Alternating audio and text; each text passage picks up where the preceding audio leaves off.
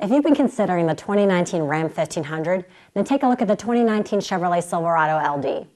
The Chevrolet Silverado LD has a rear seat reminder, so drivers are reminded to look in the back seat before exiting the vehicle to ensure that a child has not been left in the vehicle. JD Power & Associates rated the Chevrolet Silverado LD first among large light-duty pickups in their 2018 initial quality study. The Chevrolet Silverado LD's 5.3-liter V8 engine produces 50 more horsepower and 114 pound-feet more torque than the Ram 1500's standard 3.6-liter V6 hybrid model.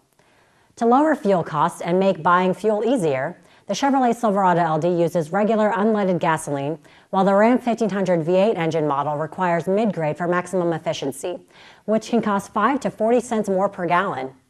Come see why the 2019 Chevrolet Silverado LD is worth Come see why the 2019 Chevrolet Silverado LD is worth the purchase over the Ram 1500.